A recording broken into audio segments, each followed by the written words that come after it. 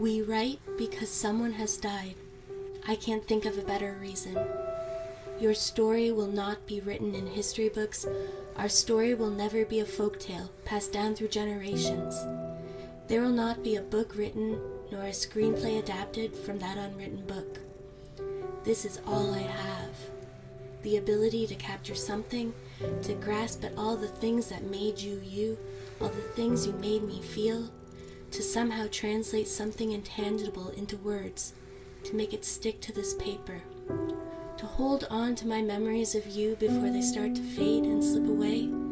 How do I capture the sound of your voice, the scent of your skin, the way your hands felt, the way you looked at me?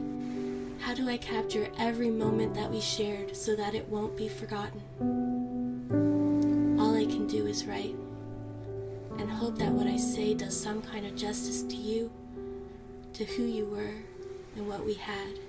That I can share a piece of you still, even when you're gone, with other people, so that you aren't forgotten, so that people know that you were real and that you mattered and that I wouldn't exist as the person I am today without you. I write because you have died, because this is your story, and your story is my story, because I need to save as much of you as I can.